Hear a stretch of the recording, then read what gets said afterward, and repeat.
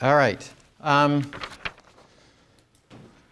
be, uh, before I forget, uh, I'm, I may try to send this to you in email, but anyway, um, the Michigan Conservative Energy Forum, which is a basically a think tank that tries to use um, basically uh, market-based solutions to getting renewable energy out into the into the grid.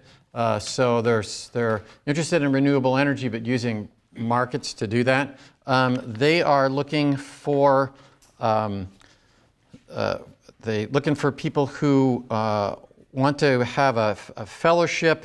It's thousand dollars um, for the program, two hundred dollars per month from September to January. And basically, what you do um, is you're going to do a little bit of research assistance, uh, and and it would be um, obviously you don't have to go there to do that. Um, but anyway, if you're interested. Um, I may try to, uh, I don't know exactly how to do it, but I might try to forward this email to you. But anyway, if you're interested in uh, a, they're calling it a fellowship for the fall semester. Um, the thing is that the deadline is August 31st, which is in a few days. Um, so I think, is that Monday? I think that might be Monday. So anyway, uh, if you think you might be interested, why don't you go ahead and send me an email, and um, I will uh, I will try to get the information to you. Mm-hmm. Did they give any numbers as to the amount of hours you would be working per week or anything like that? Um, yeah, I'll say good good question. Um, the it, it, does not say. Um, I don't, I, am guessing that it's not a lot of hours. Um, it just says uh, the, the our typical, although it says our typical fellow is a college junior, um, and I think, uh, anyway, what I can do is I can give you the, the information and then perhaps that they've got here. Um, and basically want you to do a project. Uh, it says in the past, projects have included standard white papers, a podcast series on battery technology, uh, a series of op-eds. Um, so, in fact, here's what I can do. Why don't I, here's what I'll do. I'll put a, um, a, a I'll, I'll, put, and I'll use uh, Blackmail to send you an email. It's the only thing I use in Blackboard is the email part of Blackboard. Um, but anyway, I will, I will send you the uh, link to their, uh, to their website and, and the program itself. So that'd be the easiest thing to do. So why don't I just go ahead and uh, Ed Rivet had, had, sent this to me, and um, so sort of a last minute deal. But I will, uh, I'll just, I'll put that uh, and send a general email out with this uh, link to this thing, and you can take a look at it. And if you're interested, then you can uh, go ahead and apply. But like I said, the deadline is uh, is the uh, Monday the 31st. All right. Um, I'm going to go ahead and take roll. Um, so uh, Joel Austin, uh, Caroline Beal, Paul Brophy, Andrew. For the B? Yeah. Uh, Emma Burback. Uh, Joshua Burnett. Uh, Brendan Bush. Um, Christopher Butters. Uh, Leo, is it Bykirk? Yeah, Bykirk. Bykirk. Um, Ian Calvert. Uh, Elizabeth Dixon. Claire Gauthier. Is that the way you say it? Okay. Um, Audrey Guess. Uh, Benjamin Hanson. Uh, Daniel Har Harmon. Daniel Harmon. Okay. See what'll happen. Did I tell you what's going to happen as you get older? You, you, it's going to be harder to see things. Um, but I learned that if you start using reading glasses right away, then your eye gets lazy, and so you try to avoid doing it as long as possible. Did I ever tell you that? So anyway, so sometimes I have to sort of do that because I'm trying. To, I do use reading glasses when I really have to, but um, but one thing that you can do is if you can't see something, you can make a little hole like this with your finger and look through it like that. And guess what? You can see better. I mean, you might think, how can that be? But it is. If you go like this, you can, you can see better. And it's because it cuts out the ambient light. And so if you're ever in a, in a, in a place where you can't really read something, you can just try that. So anyway, uh, Patton Harmon, uh, Peter Harrigan, uh, Clara Herzel, Hensel, Hensel, see? Ours looks uh, like ends when you're looking. Okay, uh, Maggie, is it Ronich? Haransek. Okay. Uh, I'll just call you Maggie here. Uh, Joshua, Joshua Hypes. Okay. Uh, Justin Johnson, uh, Jack Ketchum, uh, Meredith Cottam, Thomas McGinnis, Cecilia Moran, Sabrina Nardon. What is it? Nardone. Okay. Uh, Gabriel Powell. Um, let's see, Laura dropped. Benjamin Raffin. Uh, Laura, is it Rain? Ryan, Laura Ryan. Um, Jack Robinson. Uh, Caleb Sampson. Uh, Mark Sherman. Uh, Edward Skis. Andrew Verbrugge, something like that. Okay, Verbrugge. Um, Maggie Wacken, Wackenhut? Is that right? Maggie? Okay. Uh, okay, uh, Dana Weidinger and uh, Jonathan Welker.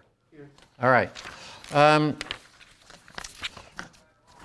every Friday, I do a classic album of the week, okay?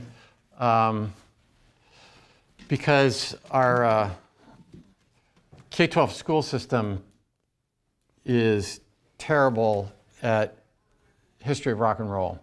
Okay, um, and so uh, you know, I want you know, some of you were there, and Professor Arnn introduces me, right?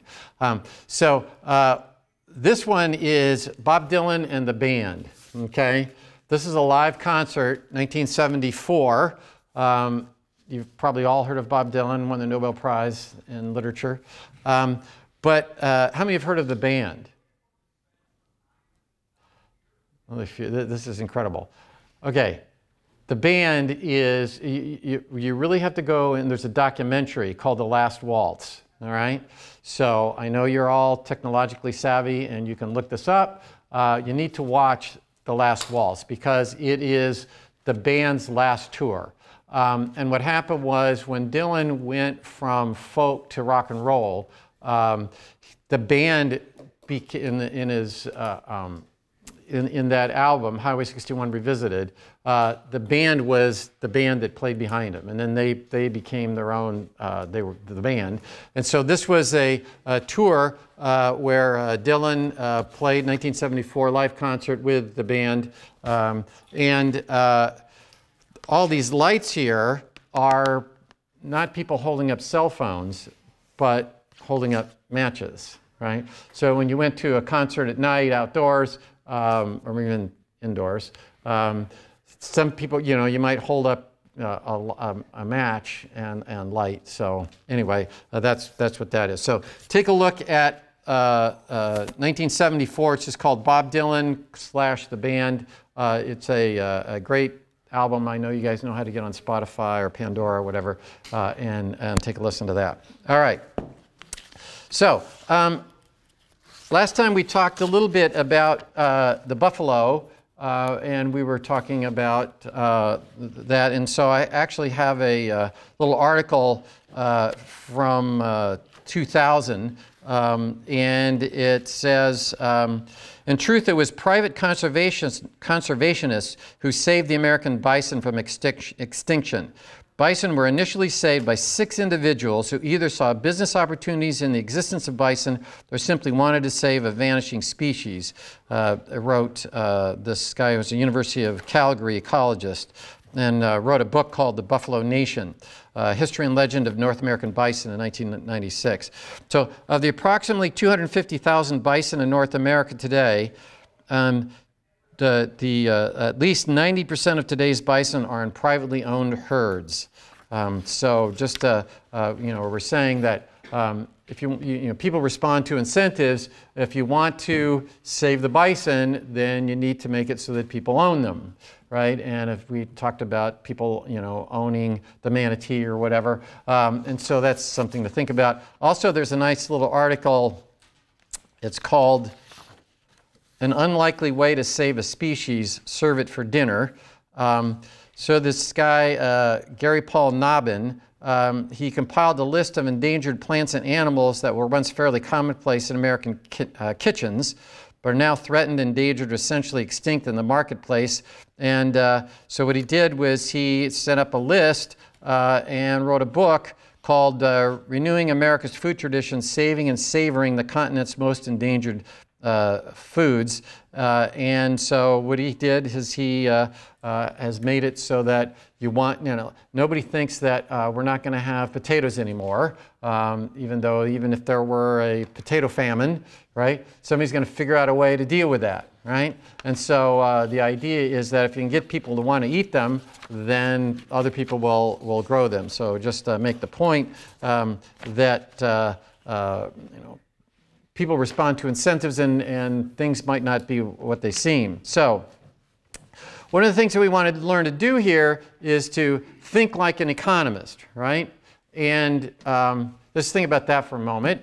Um, Nine million people woke up in New York City today, and there was exactly the right amount of Starbucks coffee, there was exactly the right amount of peanuts, there was exactly the right amount of toilet paper. You didn't turn on the news, even though it's COVID, right? You didn't turn on the news and it says, ah, toilet paper shortage in New York, right? So that would be pretty amazing, right? Every day we should just wake up and go, oh my gosh, this is totally incredible. Everywhere in America, right, there's exactly the right amount of stuff. There's not shortages, there's not excess of it. And, and so why is that, right? I mean, that's one of the things we're going to learn about. Why does that happen? Why is it that we don't have shortages. And when we do have shortages, can we explain why that shortage is going on? Why is that shortage happening? And normally, if there is a shortage, it's because the government is not letting the market system work. Okay? And so we need to, we, what we're going to try to do is we're going to try to, uh, to learn the market system and see why that is. But really, it ought to be pretty amazing that you very seldom see that there's shortage anything. Go to Venezuela, and guess what? You better bring your own toilet paper. really, you ought to bring your own toilet paper because there's a shortage of toilet paper and shortages of all sorts of stuff in Venezuela. Yeah. So when you said that shortages were caused more by the government interfering, um, like there was kind of a toilet paper shortage at the very beginning of COVID. I feel like was that because people were buying it more because of the panic that suddenly set on, or was it more because everything was suddenly locked down, they couldn't produce more? Good question, uh, and we'll go into this more, but guess what? Almost every state has what? A, what's called a price gouging law, okay? So I can't raise the price of toilet paper, right? I can't raise it above a certain amount. So we'll, we'll go through this and when we look at demand and supply and equilibrium and stuff, and what we'll do is we'll find out that whenever you see a shortage, it's because almost always there, there's a time lag, right? Uh, one of the things that they were worried about in the, uh, this recent hurricane that just happened, going through the Gulf, was it going to wipe out the oil refineries, right? So if all of a sudden the oil refineries get wiped out, right, there may take time for things to adjust a little bit. But well, what we're going to do is we're going to learn about how is it that almost all the time you're going to see, you don't see lots of excess of stuff and you don't see lots of, uh, you know, uh, lots of shortages of things. Uh, and, and the reason is because um, we're going to we're gonna see that the price system is what turns out to allocate resources in, in the market. Um, also, let's think a little bit about um, Sherlock Holmes and Watson in the original Sherlock Holmes story called The Scandal in Bohemia. Um, one of the things that happens is that um, uh, Watson's walking along and he sees Sherlock up in his uh, room, up in this little apartment building, sees him through the window, and he decides he's going to go up and talk to him, right?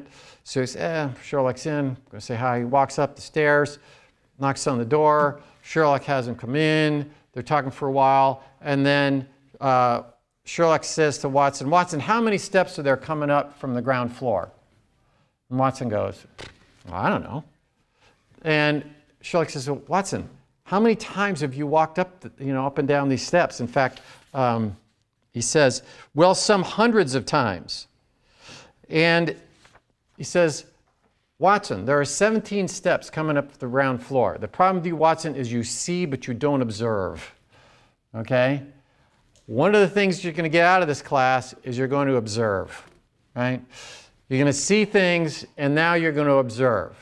And, and most people, well, as Sherlock is telling Watson, lots of times people see something, but they don't observe what's going to happen. And so you end up with legislation, you end up with all sorts of things that people are, uh, you know, they're in favor of because they see but they don't, but, but they don't observe. And we'll, we'll talk about uh, that in much more detail uh, later on. So, well, the, the, the way that we organize ourselves is through what economists call uh, a market, right? And, but a market isn't like a store or something. That's not what we mean by markets. So if we, if we're going to try to look at a market, what are some of the things that, uh, that when we describe markets, what are some characteristics of, of a market?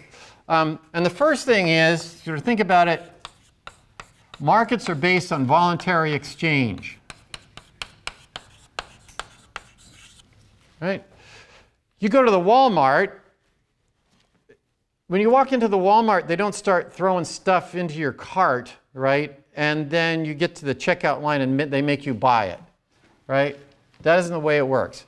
Anytime you're in the Walmart, you put something in your cart, you put it there, right? And you don't get to throw all sorts of stuff in the cart. You get to the checkout line and you say to Mr. Walmart, okay, I'm going to give you five bucks for the whole thing. It's not the way it works, right? What happens is Mr. Walmart tells you, here's how much I want for that box of Cheerios, right? And I want $2.10 for this box of Cheerios.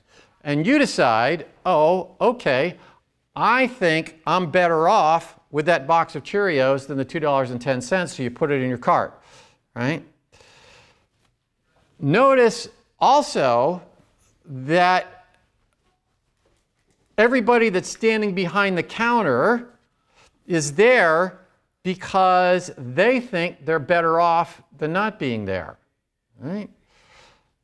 I know, I don't know if you, you know, how many you're from Hillsdale. I know there's a few of you from Hillsdale. Um, but we don't have trucks that go around and pick people up and drag them out to the Walmart and then chain them behind the checkout counter so that when you walk up there, there's somebody chained behind there and they're having to check you out. That's not how it works. Okay? Anybody that's standing behind the checkout counter is there because they said, oh, Mr. Walmart, and Mr. Walmart says, I'm going to pay you $9.50 an hour to stand behind the checkout counter. You say, Oh, I'm good with that, right? So Mr. Walmart is saying, I'm happy with you being there for $9.50. And you say, I'm happy to be there for the $9.50. Otherwise, I'd be doing something else, right? and we're going to talk about later on what's called opportunity cost. We're going to talk about that later on. But the point is, is that everything's a system of voluntary exchange. When you walk out of the Walmart, everybody that walks out of that Walmart is happier than when they went in. Right?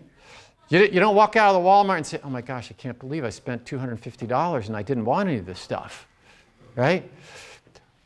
If, if you walked out with something, you must have been happier to give them the money than when you, than uh, happier to give them the money and take the stuff than keep the money, right? That's why the symbol of Walmart is a happy face, right? Because everybody that walks out of the Walmart has to be happier than when they went in. So, that's a joke. Um, but it's true. Um, but anyway, the, the point is, is that in a market system, everything that happens in a market system is not forced upon somebody, right? Now, it may be that you have government gets in and forces people to do things, but in a market system, the, the, the point of a market system is not to have that happen. The point of a market system is there's a, is a system of voluntary exchange. I can't force you to buy my product. You can't force me uh, to, uh, uh, to, buy, to, to, buy something. Um, I can't force you to buy my labor, right? I can't, you know, I can't force you to work for me. So everything's a voluntary exchange, yeah.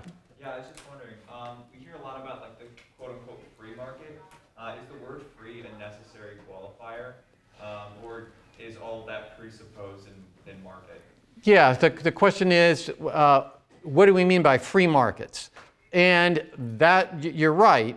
Um, but our presumption here is when we're talking about a market in here, we're talking about this condition where you, it is a system of voluntary exchange. And so um, a, a, a, free market, we, we, you know, we can add that as an adjective, but generally if we're talking about markets in here, that's what we're talking about.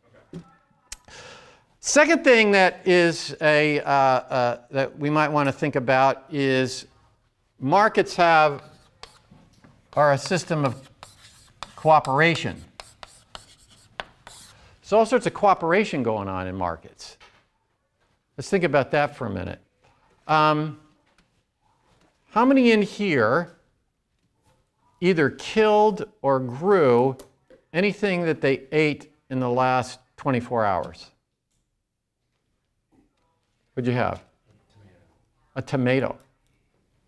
Okay. How many in here right now are wearing anything other than a face mask that they made themselves. Okay, now think of what we would look like if we were all just wearing what we made. Okay, now, now you can stop thinking about that. Um, how many in here live in, uh, uh, when they're home, uh, they live in a house or apartment or everything that they built themselves? Not with a general contractor, but actually. So there you have it. Food, clothing, shelter. We didn't make any of it, did we? right? Food, clothing, shelter. Somebody made all of it for us. okay? That's pretty amazing, right? If this were 800 AD, or if this were uh, out in the middle of the Dominican Republic of Congo, in fact, um, not so two summers ago, not this summer or the prior summer, but the summer before that. Um, a friend of ours uh, uh, won a in, a, in a raffle, uh, won a hunting safari for four um, in South Africa. Okay? And they uh, called us and you know, asked my wife and I if we wanted to go uh, on this hunting safari in South Africa. It was a week-long safari. Uh, and uh, we said, yeah. Um, and we ended up going. Um, and then we spent another week touring around South Africa. And one of the things that we did um, was uh, we went to a village um, where, guess what? They make everything themselves, right? Everything. They grow their own food. They, they, they were wearing clothing that, um, that they had, had been donated, uh, you know, because they're, you know, wearing some t-shirt from Syracuse or something. Um, uh, but uh, like I, you know, where we, they, the guy gave it, was giving us a little tour and I went into the, uh, they have a, a, mud hut that they make. Um, and then we went in and um, the floor is shiny. Um, and uh, I was going, wow, you know, why is that so shiny? He said, well, we use cow dung and it, and when it dries, it, it, it's shiny like that.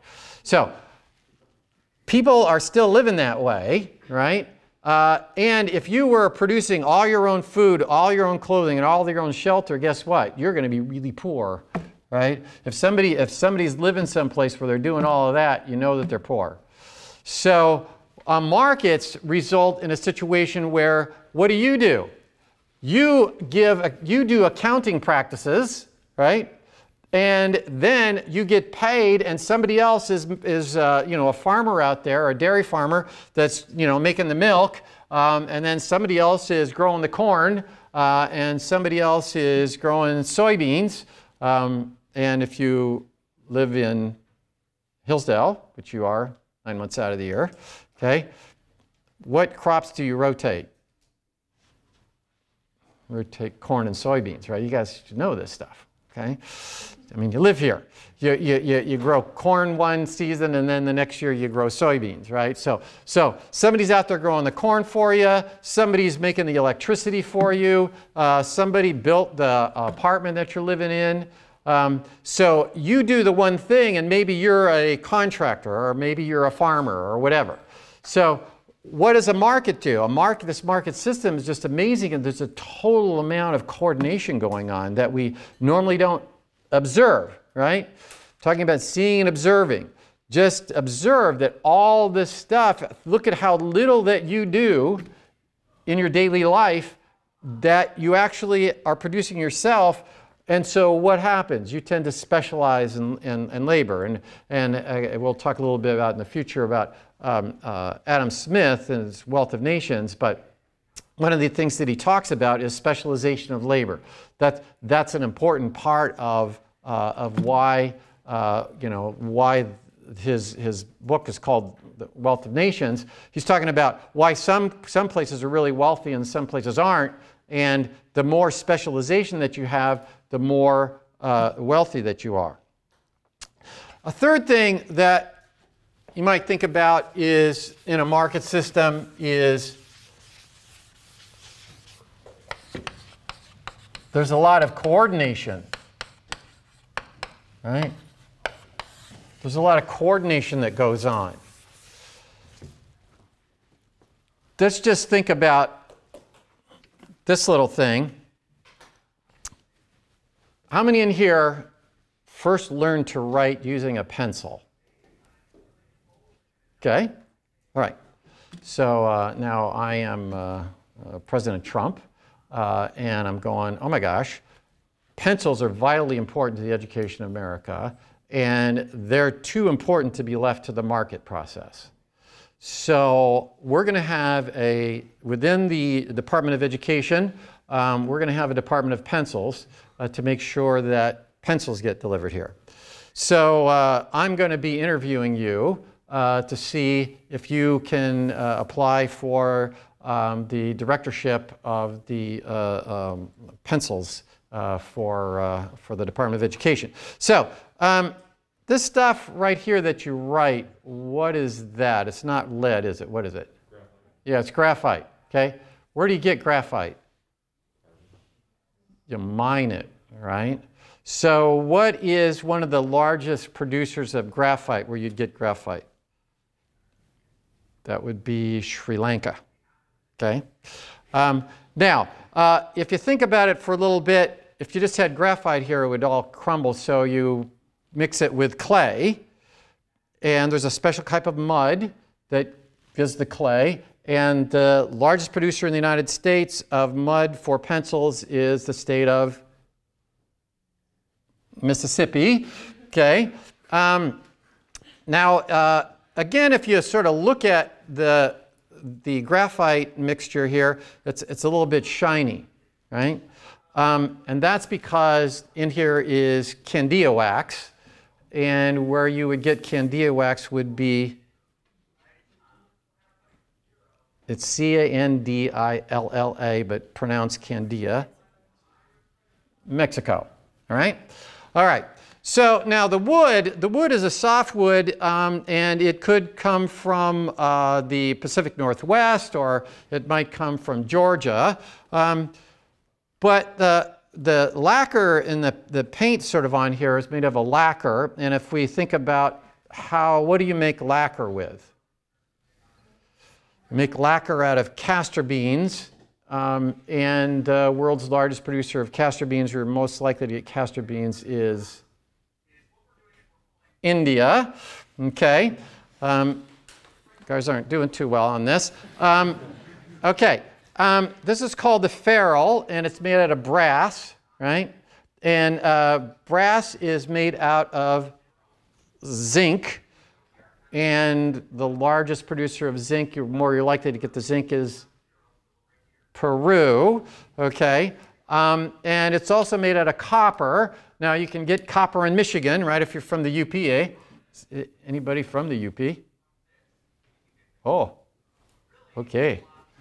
If you're from the UP, this is how you talk, eh? Um, anybody from Canada?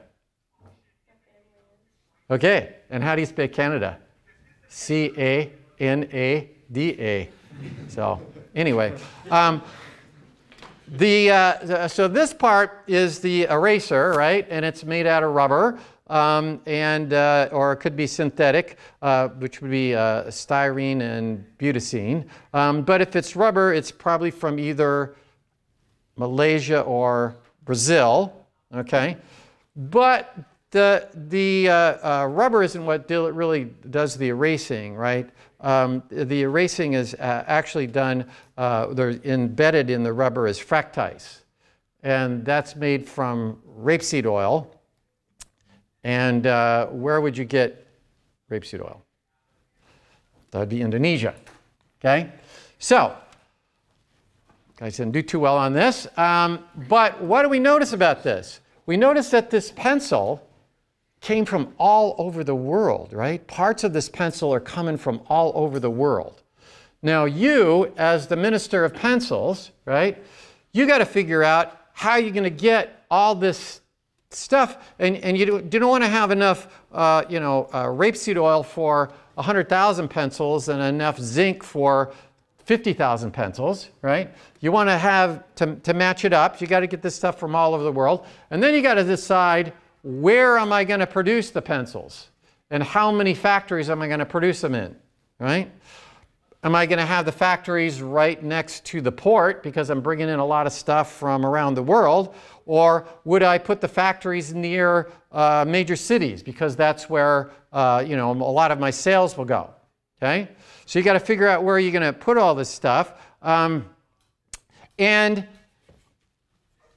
I want to have exactly, just as we were talking about New York, I want to have exactly the right amount of pencils at every retail establishment in America at every minute in time, right?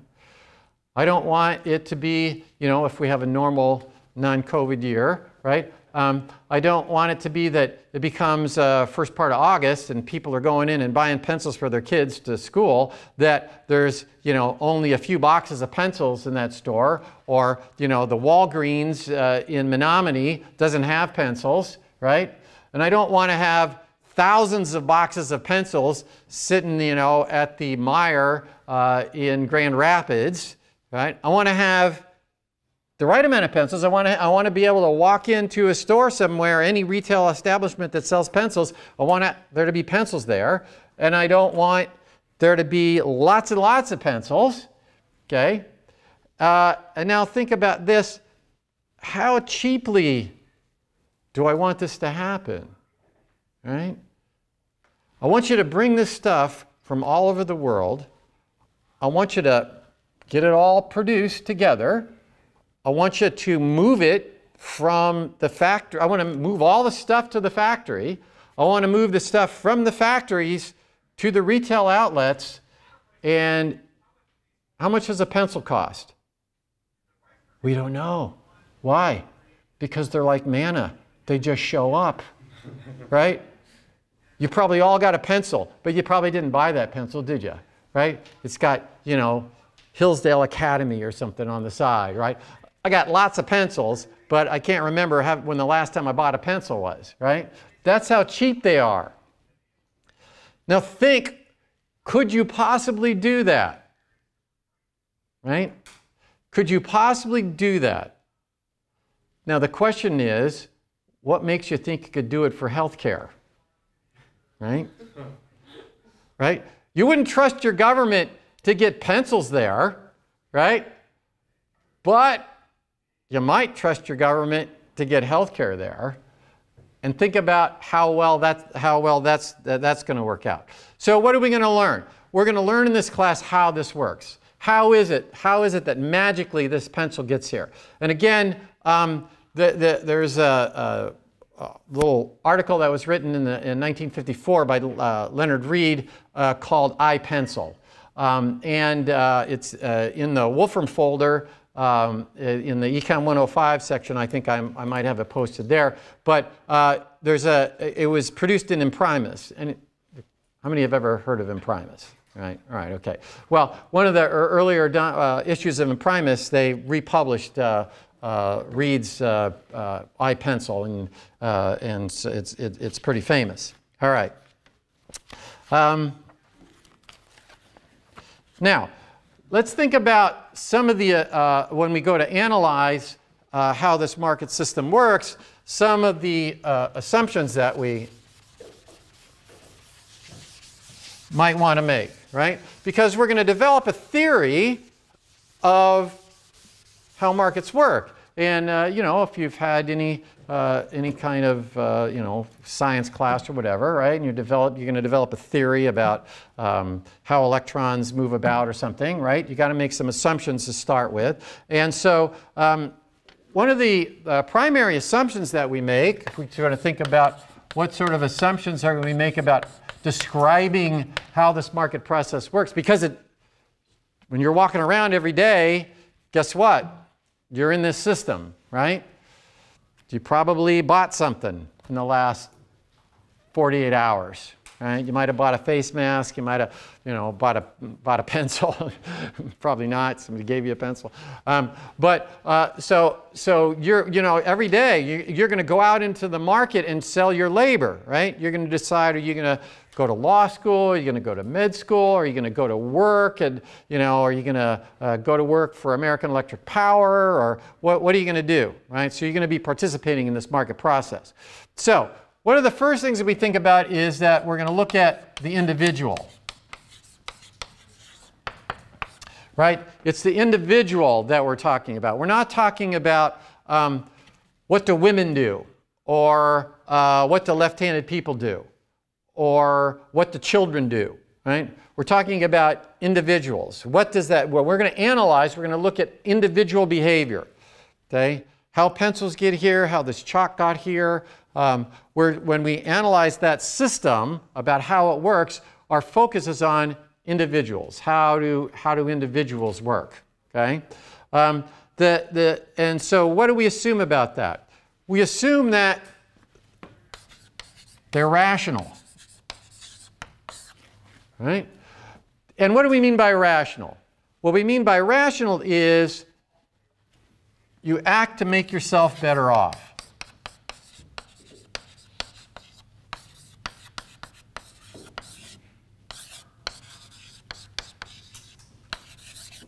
Right? You're, you act, you're rational and you act to make yourself better off. Now, What does that mean? That means that you're what we call self interested. Right? So we often say, if you're you know, economists, we often say that people are rational, self interested individuals. Right? And self interest is okay, I'm going to do things that try to make me better off, and I'm not going to do things that are irrational in the sense that I'm just going to walk up today and I'm going to say, you know what, I think uh, I'm going to uh, poison myself, right? Or I think I'm going to chop my hand off, okay? Um, you're doing things to make yourself better off.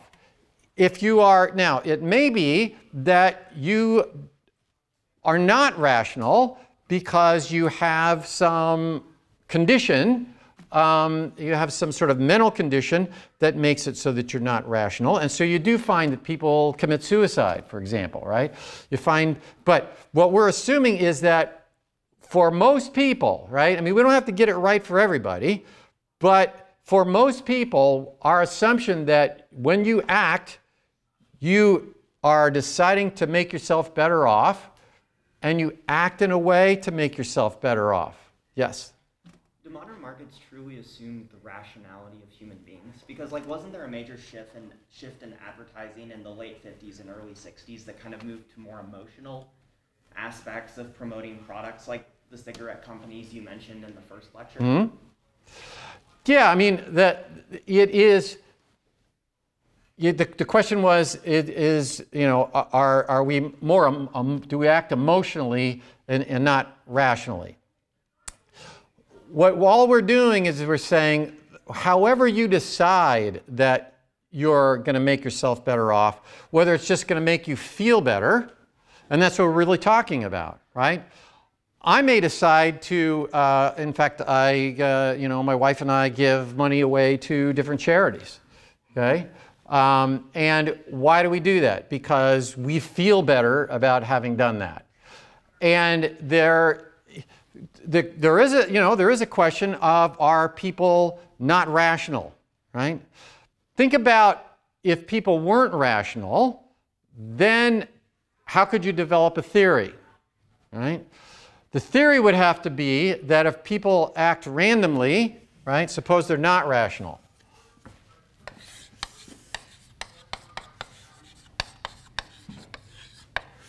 Okay, what are they going to do? We could have, they could act randomly.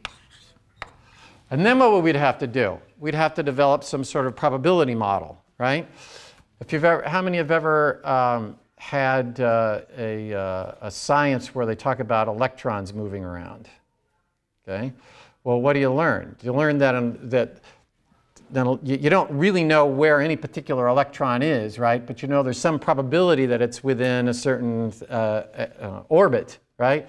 An elect and so what are you trying to do? You're trying to figure out what's the probability that these electrons are where they are, right? So you could develop a system like that. There's a whole, uh, uh, uh Vernon Smith won the Nobel Prize a number of years ago for developing uh, what's called behavioral economics. Um, which looks at it and we find out that um, people, uh, people sometimes have uh, um, risk aversion um, where, uh, well, uh, let's put it this way. One of the things they find out is that you tend to, th to, to think things are more likely to occur if what happens is you see a lot of news about this particular thing or if it's a major event, right? You think that the probability of a category 4 hurricane hitting is higher than it really is because when you hear about category 4 hurricanes, they talk about it like crazy, okay? What if there were a virus um, that you heard lots and lots and lots about, okay? And you think then the probability of this thing happening is really high, or at least higher than what the, the data would show, right? So that could happen. So um, we, uh, the, uh, really about 30 years ago, um, there's this uh, behavioral economics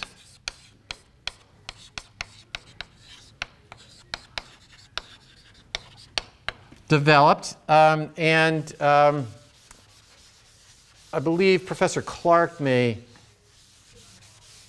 he, he, he maybe includes it in some of his classes, or um, he uh, may have a uh, 393 class on behavioral economics. But anyway, um, in behavioral economics, you try and say, okay, um, people don't, don't know exactly what's going on, but we're still, what you're still assuming is, given what they think is going to happen, they do it in a way that they think is going to make themselves better off. Whether they're doing it through emotion, or whether they just don't have the understanding, or whether they just make a mistake, right? Somebody says, hey, you want to go on a blind date with so and so, right? You want to go on a blind date with, with uh, this friend of mine, Claire. And you go, yeah, that, that, okay, I'm willing to do that. Um, and then about 20 minutes into the date, you're going, oh my gosh, I've made myself worse off, right? Uh, I thought I was making myself better off when I decided that I was going to go on this blind date, but I've clearly made myself worse off, right? Um, so you're going to get, get it. It's not going to say that you're always going to get it right. You're going to make mistakes. And when we read Hayek's Constitution of Liberty, which we're going to, one of the things that he's going to talk about is you need to be free to go out and experiment in things and to try things because you may not know what's best for you. You are going to try to make yourself better off and sometimes you're going to get it wrong just because you made a mistake. Sometimes you're going to get it wrong because you really didn't know what the probabilities were. Sometimes you're going to get it wrong because you, you are uh, doing things emotionally rather than thinking through rationally. But even if you're doing it emotionally, why you're doing it is because that you think you're going to make yourself better off by doing that right? Whether you've thought through it or whether you're just doing it emotionally. And if we can figure out what your emotions are, see, what are we trying to do? We're trying to predict behavior, right? And if I find out that you guys do things emotionally, what am I going to do? I'm going to change the way I advertise, right? I'm going to change the way I advertise because I now I know that you guys are going to do things based on emotion. And so, what am I going to do if I'm a politician running for office? Okay? If I'm a politician running for office, and I figure out that you guys do things emotionally rather than reasoning out by having taken Econ 105 and understanding that if you do this, it's going to cause this to happen, right? Then I'm going to have advertising that's based on emotion, right? And all I got to do is watch the advertising as we run into this election in November, right? Lots of it's going to be emotional, right? And that's because, again, when you if you take Econ 415, uh, and we talk a little bit about it here, we might say that people are going to say that people are what's called rationally ignorant. That is, there's a cost to you of learning about things, right? And if the benefit to you of learning about it is less than the cost of learning about something, you're not going to learn about it, right?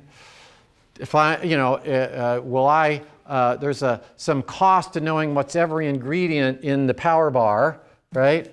But if I think the added benefit to me of knowing about that is less than the added cost to me of looking it all up on, you know, Google search or something, um, then I'm not going to do it, right? So it's called rationally ignorant. All right. Um, and so uh, if you take um, Mises's, uh, or if you take uh, Professor either uh, Professor Clark or uh, Professor Steele in particular. Um, Professor Steele's uh, class in Austrian economics, uh, what he talks about, and we'll read his Ludwig von Mises, one of the required books in here is Mises's Liberalism, right? Um, but his magnum opus is called Human Action.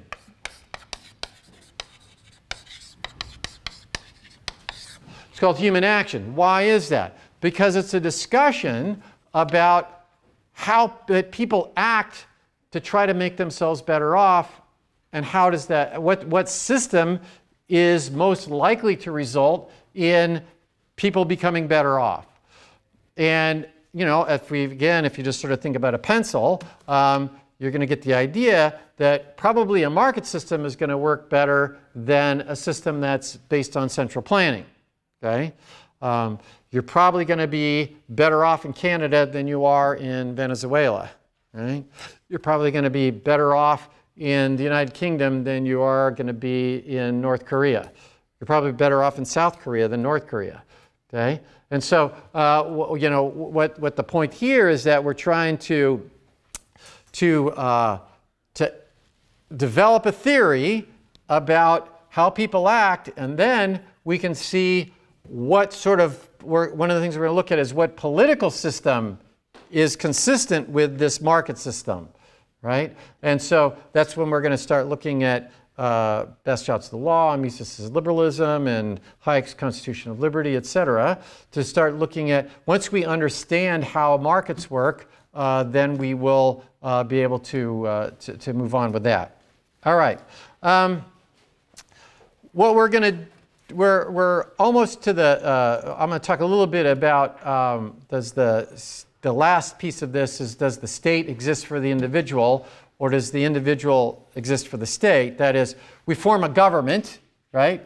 And what should the government look like? Why did we form that government, right? Are we there for the government or did we form the government to, to do that? Uh, and so uh, we'll finish that, which is just a little piece. And then we're going to look at demand.